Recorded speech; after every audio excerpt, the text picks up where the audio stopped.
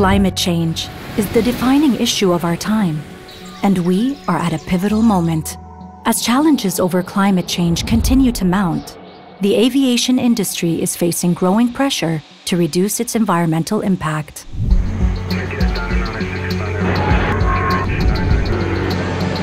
Over the past 10 years, Etihad has been trialing and testing new technologies and solutions that limit the carbon footprint of commercial air travel. From optimized flight paths, single engine taxiing, engine foam washing, to rewarding guests who pack lighter.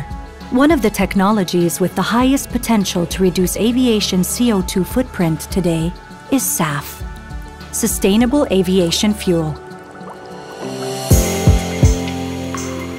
It's been rigorously tested and is 100% safe as a 50% blend for commercial flying, and it reduces up to 80% of the fuel's CO2 life cycle emissions. So why isn't every airline using it? The key challenges to overcome is the cost, availability, and access to SAF. How is Etihad addressing the challenges we face? The answer is a system called Book and Claim. Sustainable aviation fuel is considered a game changer when it comes to decarbonization. It can help us significantly reduce our carbon footprint. The beauty of the book and claim system is that it allows us to go beyond 100% sustainable aviation fuel. And this is something we are limited to because of commercial standards.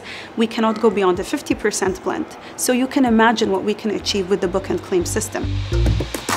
On 13 November, Etihad partnered with World Energy to operate a net zero flight from Washington, D.C. to Abu Dhabi, removing 100% of the CO2 emissions through a book and claim system.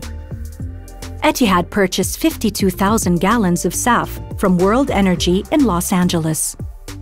As SAF was not available in Washington, D.C.'s Dulles International Airport, the CO2 emission reduction wasn't directly generated by this flight, but via other Los Angeles outbound flights that Etihad supplied and fueled with SAF global sustainable aviation fuels are limited in supply and geography of production. Book and claim is a solution that enables us to purchase SAF without being geographically connected to a supply site. It involves decoupling the environmental benefits from the physical product and to further transfer these benefits to our corporate partners via a dedicated blockchain-based registry. But you don't need to be an airline to purchase SAF.